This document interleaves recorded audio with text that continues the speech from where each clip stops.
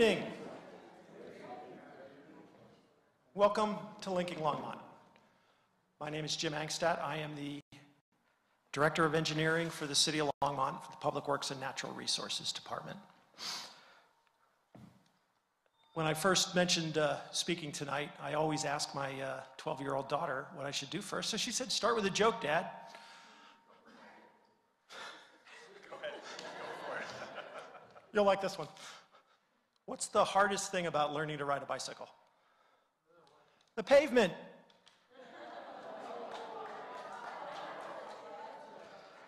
I, I, I, was hoping that wasn't going to be a flat joke. So, what brings us together this evening? We are here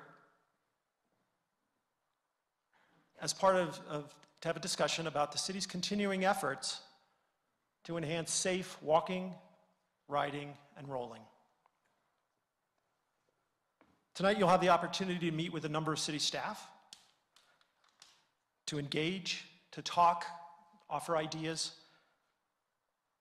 and receive information on our future efforts to improve walking, riding, and rolling in Longmont.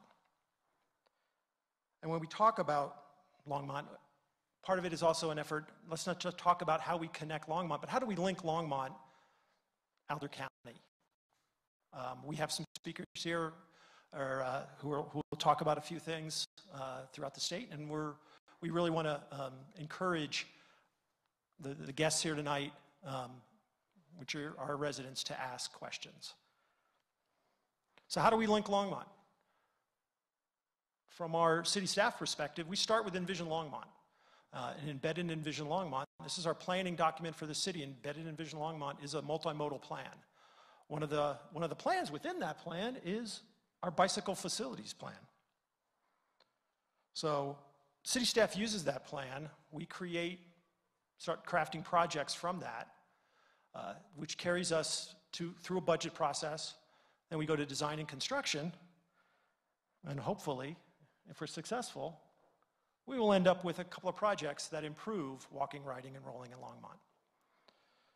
So I, I uh, wanted to highlight a couple of our recent accomplishments. Um, the first project on your, your left is Sunset Street. Uh, that was what's called a road diet, where we took basically four lanes of traffic, two lanes in each direction, and basically added a center lane, um, took out two lanes of traffic, and added bike lanes. Uh, we improved the sidewalk um, so we are one of the projects here. This is the first phase. We'll have a second phase you can see tonight. The center project is our south. Highlight that because this is an example of one of our projects that's included in our pavement management program. And one of the philosophies our staff has in the engineering de department is that we look at each project, each road we pave separately, and if there's an opportunity for us to do something different, we will undertake that. When I say something different, we look to expand that roadway, and not just by widening out, but by pushing in. In this case, we, we took out some of the medians in the center of the road, reduced the lanes, we're able to add bike lanes. The last project is Mountain View. Uh, this is an example of um, what's called an EMUC, Enhanced Multi-Use Corridor, where we, in this case, we were able to take out some of the parking areas um, and then add bike lanes. In this case, we also added, we added what we're, we're looking to do where we can, a buffered bike lane.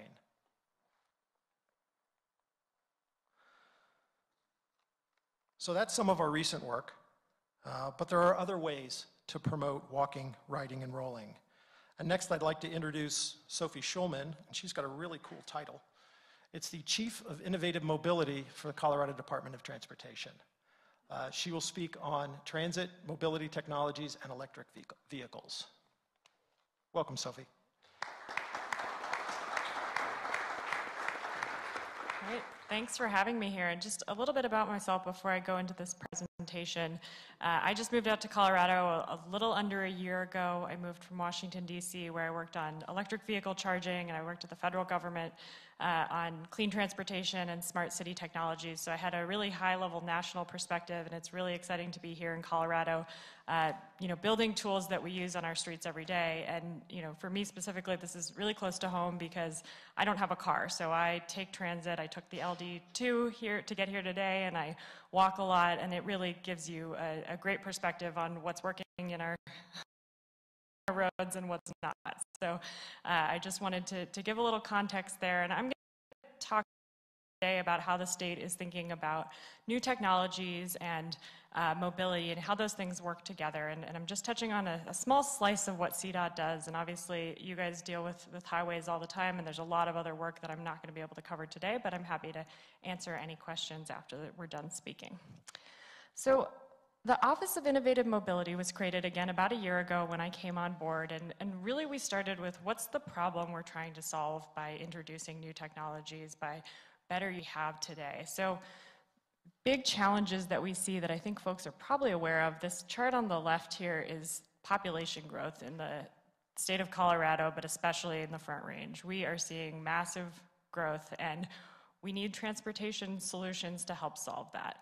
The chart on the right, which I'm sure you can't read very well, uh, is really showing how transit is also a really important tool communities and vulnerable populations that don't have other options to get around. And so when we talk about transit, we frequently talk about RTD, we talk about urban areas, but it's also really critical as a basic transportation tool for, for some of our most vulnerable folks. And I just think that's really important as we think about other parts of the state, rural areas, this is a, a, really critical tool. So those are the, the two major issues that we're looking at. And some of the challenges that are associated with that are congestion, poor air quality. The Denver Metro North Front Range area was uh, knocked into serious non-attainment for ozone. And again, that hits our most vulnerable populations. That hits our kids, our aging communities. And we really need to look at transportation both to improve convenience so everybody can get around faster and more easily, but also to make it healthier for our communities. So the Office of Innovative Mobility is designed to really think about those challenges. And we brought in uh, the Division of Transit and Rail, which is an existing team within CDOT and it operates the Bustang, which I'll talk more about in a second. Um, but really that existing transportation tool that we have, which is transit, which is great and works really, really well to do uh, a lot of things for our communities. And then looking at what are the technology tools like electric vehicles, shared use, and then the future of connected and autonomous vehicles. And how can we use all of these things together to better move people in Colorado? So I'm just going to go through each of these areas quickly. I mentioned the Division of Transit and Rail. Bustang is our inner city bus service, which if you haven't taken it, you should definitely look into it. We've launched a new service that goes directly from Denver Union Station to three different ski resorts, which we're really excited about. And obviously, that's not as convenient for you folks, but we are hoping to expand more of those services. And, and part of that is showing the success that we can get people to take a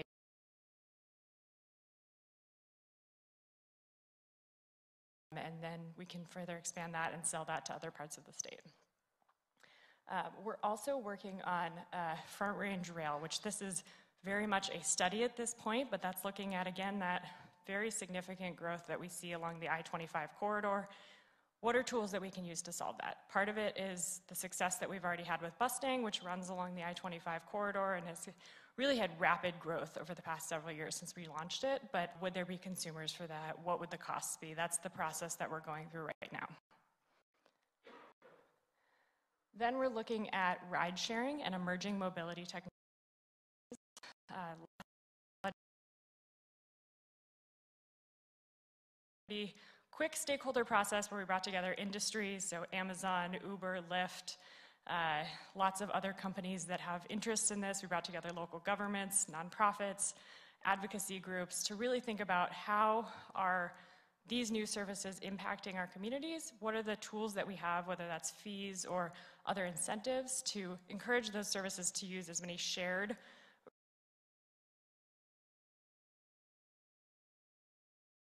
issue.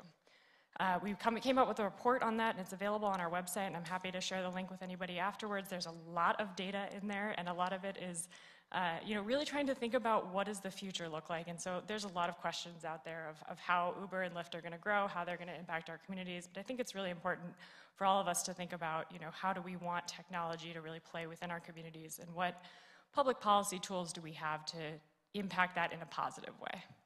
Um, and attention, you may have seen that Lyft announced that they are bringing 200 uh, they actually have already brought 200 Kia Niro EVs to the Denver metro area, which is progress to show that some of these high mileage vehicles can be converted to electric and, and that that works in some communities. And obviously, a key part of that is making sure that we have enough charging for those uh, vehicles as well, which I'll talk more about.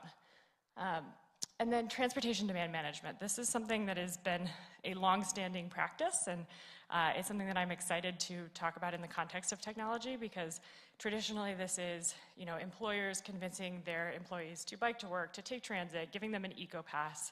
Uh, but I think there's also some really exciting new tools to make this app-based, to create gamification, which means giving you a couple cents to take transit, things like that, that make this a little bit more exciting, a little bit more engaging, um, and can help us all be convinced to transportation choices. Um, and then on top of that, I think making transit easier from a data perspective. You know, all of us walk around with phones. Most of us have Google Maps and can look at and see when the bus is coming. It's really great when you have that integration, but getting that data from all the different transit agencies across the state, integrating that with Uber and Lyft, which RTD has started doing, and we'll be doing that with Bustang at some point as well, but really trying to have everything in one place. It makes it easier. We have the tools available today, and it's just putting the time and effort in to make it easy for people to take transit.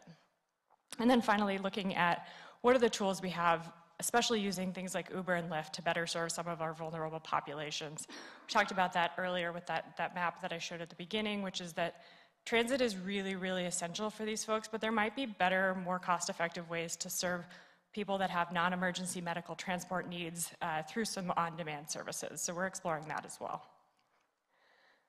And now the sexy stuff. This is the connected and autonomous vehicles. So if, if you're not familiar with uh, an autonomous attenuator, that's what you're looking at right now.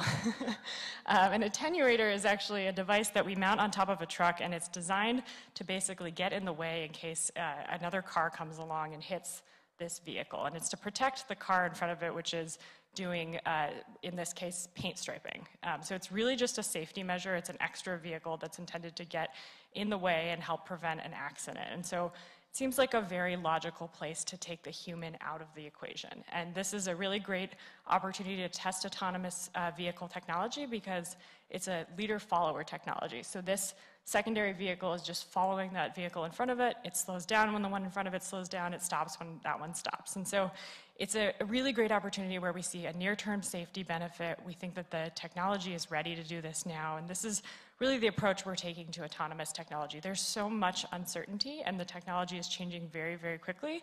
So in terms of wise taxpayer investments, we want to do things that are improving safety, that are showing near-term benefits, and are really helping us learn for the future.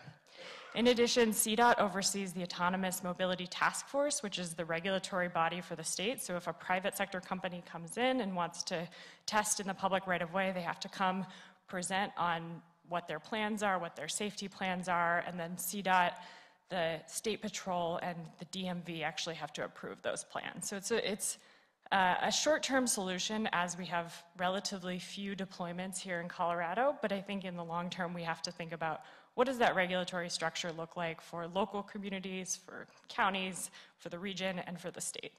And one of the ways we're doing that is looking at what are states like California and Arizona that have more of these deployments, how are they thinking about this regulatory structure?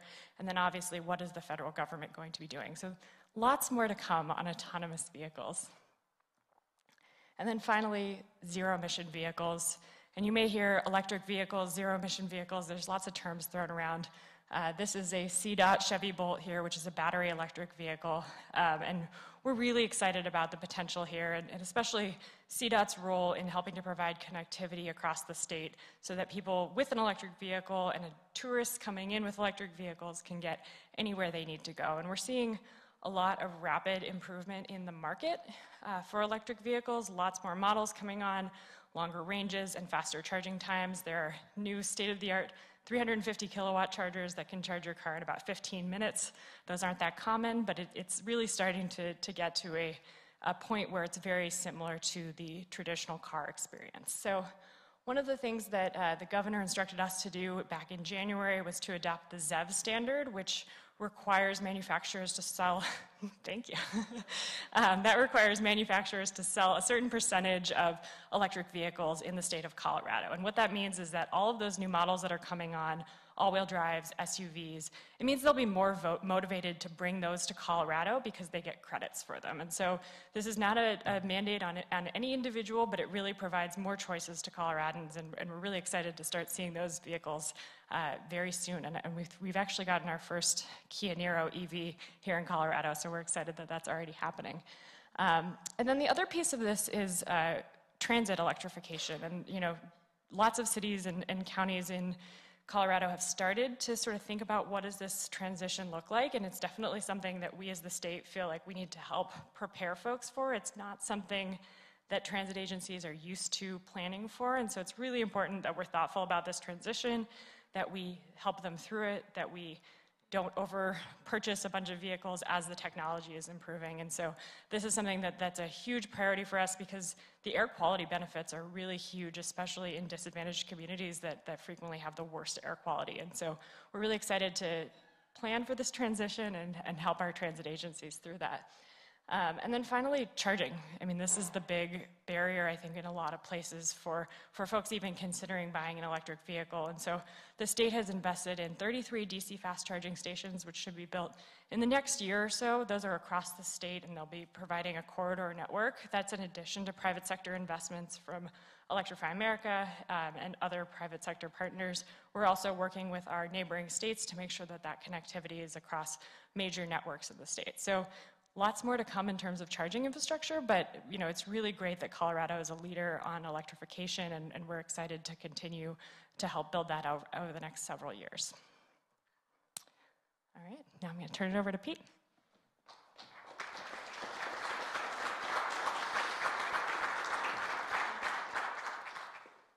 Thank you, Sophie. Our final speaker tonight is Pete Piccolo. He is the Executive Director of Bicycle Colorado. Uh, Pete will discuss his organization's work in providing a voice for bicyclists statewide and how to further sustain, further sustainable transportation. I think I got that right. Welcome, Pete.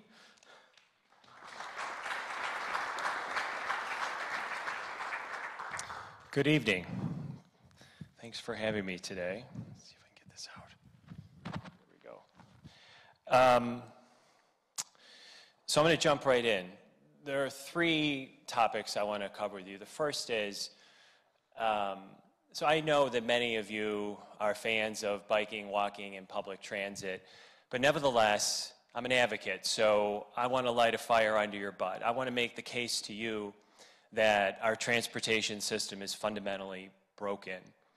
And in fact, if we don't up our game, if we don't do more sooner, we're going to find ourselves in the midst of a transportation crisis.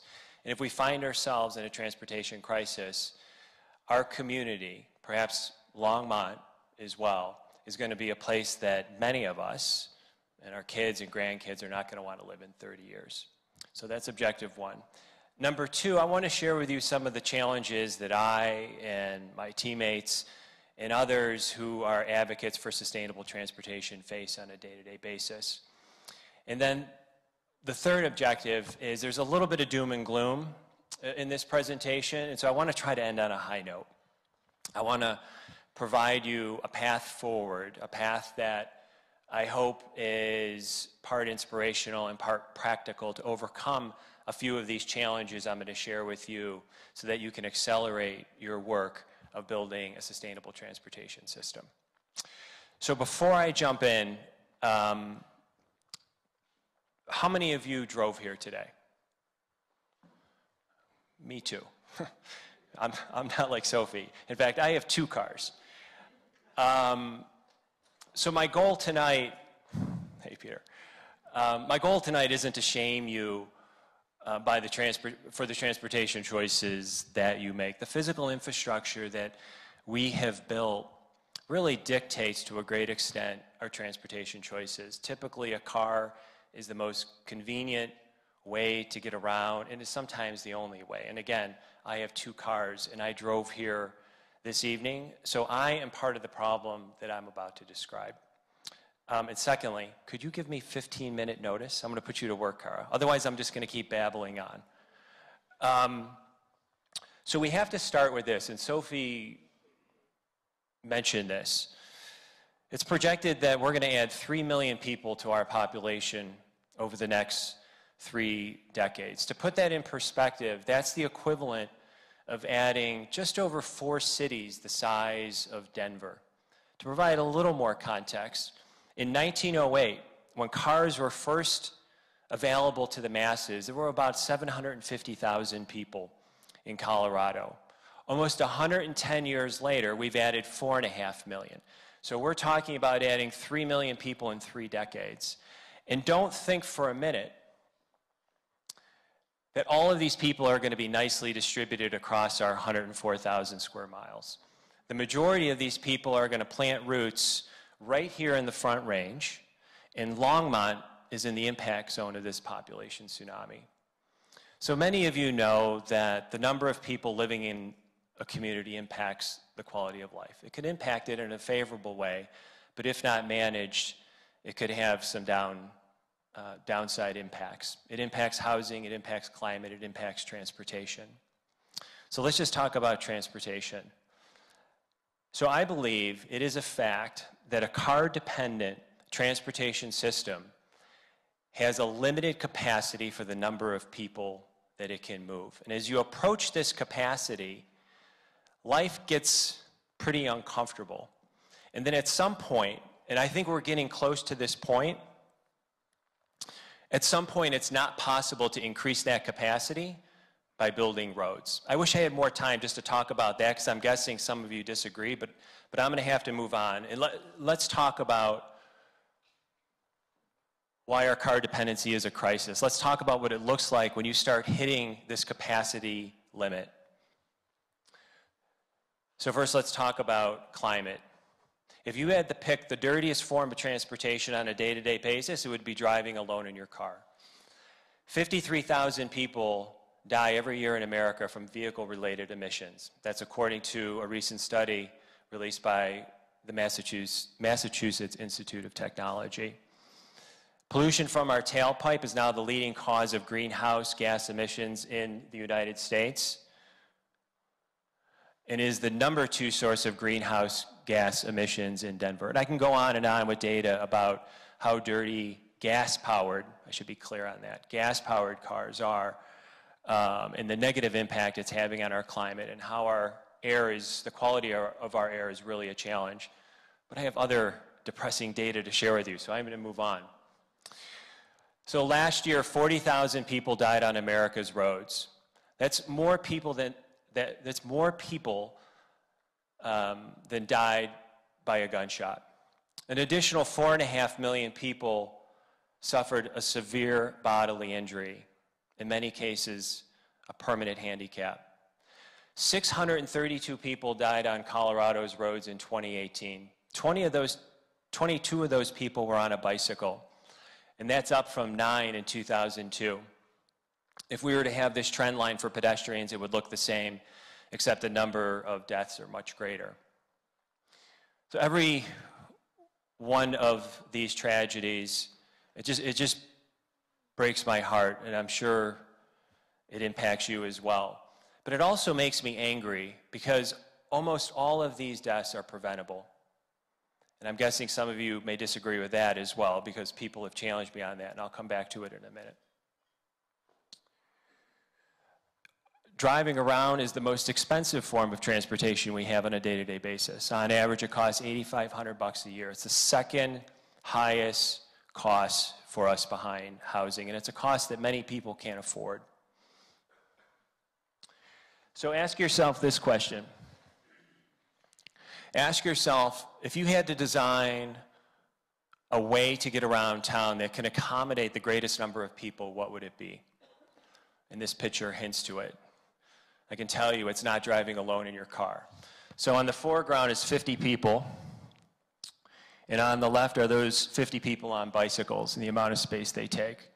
On the right is if those 50 people were in a bus, and in the middle is if those 50 people were on a car. And this picture is actually pretty generous because the cars are parked. They're bumper to bumper, so you know the train would be much longer if they were if they were moving. This is congestion right here, this middle picture. So if you're a Denverite, you can expect to spend, on average, 83 hours a year sitting in traffic. It's about two and a half years over the course of an adult's life. We also pave over an extraordinary amount of land to drive and park our vehicles. In most urban areas, Denver included, roughly 60% of public space is allocated to cars. So this is an aerial of Denver, and what's shaded in green is the real estate that is allocated to parking. And I know Longmont allocates quite a bit of space to cars as well. I've done my homework. It's not this bad, but there's quite a bit of real estate we allocate to cars. Space that could be used for affordable housing, parks, or how about just grass? So I would argue this is what a broken transportation system looks like. And I have to be honest with you, it's, it's beyond me why we accept the fact that going from our homes to our jobs, or going from our homes to school or to the grocery store requires that we pollute our air and take our life into our own hands. We can do better than that. We really can. And so, my view on all of this is summed up neatly for me by this person, Etienne Krug from the World Health Organization. And she said if motorized transport did not yet exist, no sane government would permit it. In other words, if we had a white canvas, and if we could just start from scratch, what we have today, we would not have going forward.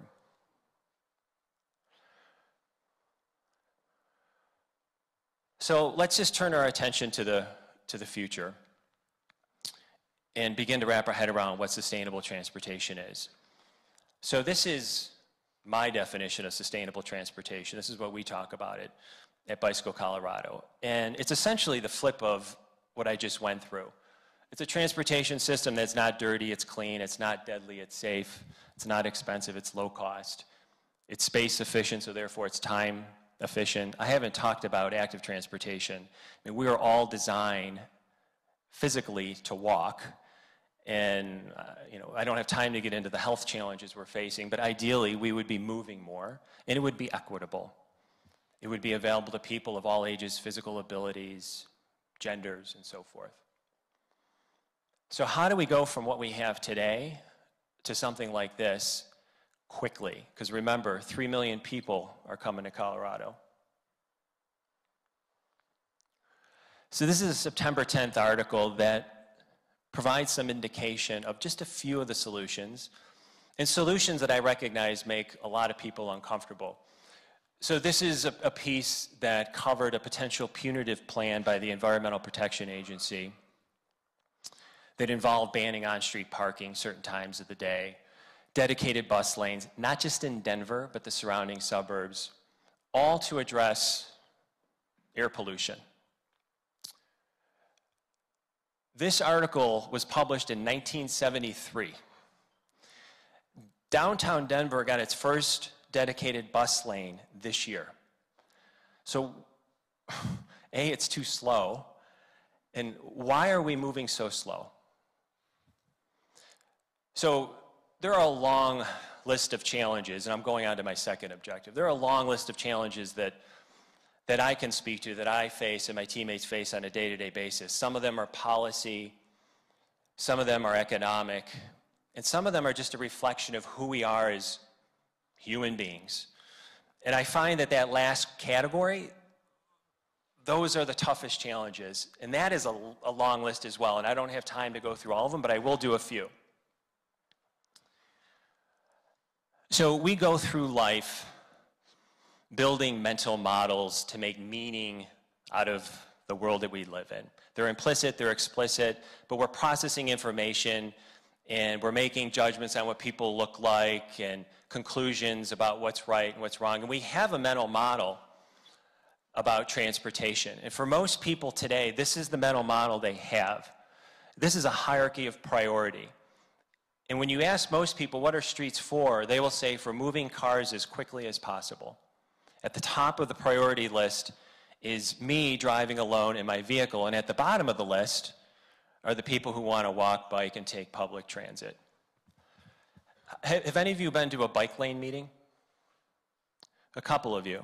So I've been to a few too, and I mean, there are times I'm in bike lane meetings. When I first started this job, the first meeting I went to, I thought it was in the wrong meeting. You would have, it was so contentious.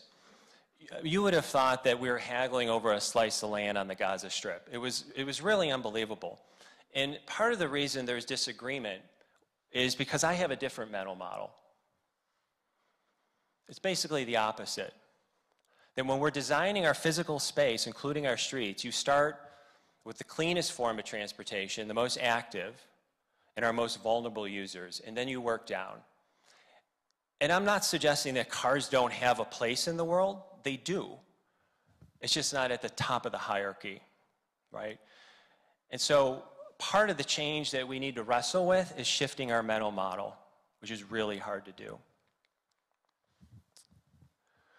So, as human beings, we really suck at envisioning a radically different way of configuring the world and living our lives. We do. There's a quote that I'm sure many of you heard that's attributed to Henry Ford. Some people say he didn't say it, but it's relevant nonetheless, which is if you ask people what they wanted at the turn of the century, they would have said a faster horse, which I think captures this thinking really well. But think about it. From the moment we took our first breath on this planet, from the moment we looked out the window and had our first memory, it's cars, right? People move by cars. We expect to see that visual of Denver with all of that payment, pavement. That's the way the world works. It's as if it's this, I don't know, this immutable law of nature, right? Sun rises in the east, sets in the west, sky is blue equals MC squared, and humans get around by driving. So we're in this mental cage, mental cage, is really rigid and it's hard to break out of.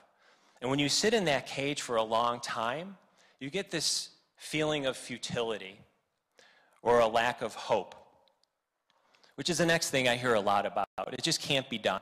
And I hear this most often when I'm in conversations about Vision Zero, which is a global initiative to eliminate traffic fatalities. Boulder's embraced it, Denver's embraced it. I think you're talking about it, if I'm not mistaken. Um, but people you know, no one wants to say, like, well, our goal should be to reduce fatalities from 70 to 50. That's a good number, and we could celebrate 50 deaths. But people have said to me, it can't be done. So I just want to dispel that myth, not by this graph. Denver embraced Vision Zero in 2016 and deaths have increased. But if you look at a city of comparable size, Oslo, they have about 670,000 people. Last year, they had one death. No kids, no pedestrians, no people on bikes. This was a car crash. Now, I know there are going to be people who say, well, they're European. You can't compare Oslo to Colorado. So I've been there, and I can tell you that the human species in Oslo is the same as the human species here. And the reason they've made gains is because they have that hierarchy that I shared with you with pedestrians on top. They drive smaller vehicles, they drive slower. It's a function of our infrastructure, it's a function of the world that we want to build. It's possible. Um, so, the, the last barrier that I want to cover is just change. And it's hard, and we talk about it all the time. And you know, people often say, well, I'm adaptable, I'm flexible, I like change. And I don't, I don't believe that. So I want to tell you a quick story to underscore my point that change is hard, and particularly changing car culture and moving from what we have today to something different. And while I tell this story, just to make my point that change is hard, I want to ask you to do something. If you're wearing a watch or a bracelet, take it off and start putting it on the other hand. Just wear it a little bit and let it sink in how uncomfortable. I'm serious. I see watches. Try it. And I'm going to tell my story. So I live in a um, Wash Park, Platt Park, which is a suburb of Denver, about four miles outside of the city. And it's kind of, um, I, don't know, I have wonderful neighbors. They're pretty progressive in their views of the world. They they're, they're early adopters for everything, from technology to cultural norms, right? You see the signs, all lives matter. I mean, they're all in on everything. So one morning, a, a Sunday, about a year and a half ago, I look out the window and there's this commotion next door. A bunch of neighbors are huddled in a circle just off the sidewalk towards the curb. So I walk out to check out what's going on, and this was all the commotion. So at that time, Bird dropped a bunch of scooters in downtown Denver. One of these scooters landed in my neighborhood, and this scooter was on that patch of grass between the sidewalk and the curb, right? And my progressive, enlightened neighbor was really upset. A lot of scooter hate going on, those scooter riders, you know, it's the apocalypse is coming, and they all know what I do. So my neighbor looked at me, kind of tongue in cheek, but serious, and is like, What do you think about this? What are you going to do about this? And so I said to him, I go, Vinny, I go, look up and down this block, from one end to the other, bumper to bumper cars on a Sunday. I said, the four cars in front of your house are not even yours. How come you don't have a problem with the 50 cars parked on our block, but you have a problem with this one scooter resting against the tree? And he said, well, they're cars. Car culture is so embedded in our view of the world that sometimes we don't even recognize our natural bias. So, how do we break that? So, let's talk about that. So this is my final point. I'm going to try to end on a high note. Talked about, so first you have to start with, like, we got a problem. And if you don't think we have a problem, then, you know, what I'm about to say is pointless. Because you have to accept that we have a problem, and we've got 3 million people coming, and the problem is only going to get worse. So think about the mental cage, think about um, the difficulty of change, and how do we move forward? So you got to just start by asking yourself, how do you want your community to look and feel today and 30 years from now for your kids and grandkids when millions of more people are here? And then, you know, think about the hot spots in your community that may drive you nuts, where the traffic is. You know where the crashes are. Your city folks have the data. Or think about the places where you'd like to be more people friendly, a park or a plaza, right? And then envision it. Don't just envision it in your head, but put it to paper. And when you put it to paper, start talking to your community members about it, right? So I just want to give you a couple of examples. I know for those of you who are in this line of work, this is old news, but I just want to give you a couple of examples. I was trying to remember where I got these from. I think it was, maybe you alone I go through, I think it was Fort Collins. This is a, an example of a street where if you think about the pyramid and the hierarchy, single occupancy vehicles are on top. Two lanes in each direction, parking as well, no place to ride a bike, pretty tight sidewalk. How could that look? 20 mile an hour speed limit, uh, protected bike lane, and this is cheap. It's cheap to test this. Again, two lanes in each direction, no place to ride a bike. How might that look? Sketch it out, talk about it, make changes if there's something you don't like. This is made for speed. Three way, three lanes, one direction, plus parking. How might this look? Just paint and bollards. All right, so you've sketched this out, you've talked to your neighbors about it, you've worked through some of your disagreements, and now let's test it, right? Don't put in the heavy cement right away, but let's test it and experience what's possible. So here's a traffic circle, chalk and pylons. While you're testing the traffic circle, you're collecting data on traffic flow, community sentiment, Bump outs, narrow the distance for pedestrians to cross, slow traffic. Again, paint and plants. Just test it. A bike lane. So you've envisioned it, you're testing it, and then let's say, you know what, I, I like this, I want to make it permanent. So I'm going to wrap up with a quick case study. Putnam Triangle. So this is in New York. So for those of you who are saying, New York is New York, and nothing in New York applies to Colorado. You may not believe this if you've been in New York, same human species in New York as well. so this is a mess. It's been this way for decades. It's a cement ocean, a lot of crashes. Police car typically perched right there. It's a mess. It's mixed use as well. Uh, there's some residential and commercial here, but the community was fed up. A couple people said, How can we make this better? So they started drawing it, and they started talking about it, and they began to settle in on a vision of what it could look like. And then, with spending virtually no money, they started testing it. Just a pop up community event. And then it went to movie night, and music night, and reading day, all temporary and all virtually no cost. Turns out people liked it, and they decided to make it permanent. And here's what it looks like today Dad and his kiddos sitting where there was traffic and where there were traffic crashes. A bunch of friends catching up in the middle of the road. Crashes are down, pedestrian injuries are down. The one downside of this, it took six years. it should take a year. It's 15, roughly 15,000 square feet, not that big. So I'll wrap up um, by saying, you know, what do you want your community to look and feel like, not just today, but 30 years from now? And are you doing enough, quick enough?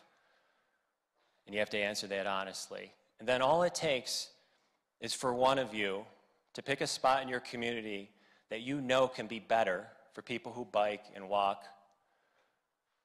And just ask yourself, you know, what if? What, what could this look like? Envision it, test it, and then do it. Thank you for your time. You didn't give me a 15 minute warning. I went way over.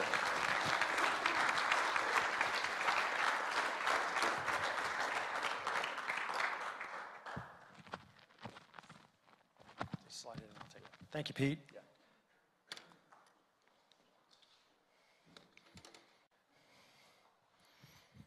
So where, where are we going to go? What's next? Oh. Some of our city future efforts are listed here tonight, and we have tables out there with some graphics, boards. We'd like, we'd like you to take uh, some time, go around, walk around, ask questions, uh, talk to staff. Um, we also, somewhere around here, I had a comment card, which is basically, we went real high tech. It's like uh, just a plain blank card. So, so fill out some ideas. Tell us what you think. What, what, where do we need to improve?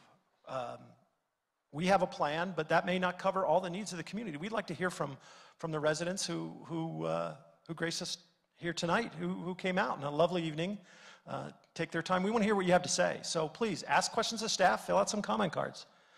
Um, if you see something missing, let us know. Um, but we can't do it all alone. Uh, part of the reason we're here tonight is, is to get residents take on it. But we also have, uh, to be truly successful, City of Longmont needs help. So we have some community partners. We've asked some, they, they, they again came out tonight on a, um, a nice evening. Um, so they're out here, out here as well. So we'd like you to stop by, ask some questions. We have some, uh, some people um, from our, our public safety because we want to have safe walking, riding, and rolling in Longmont. In Longmont. Um, Boulder County's here.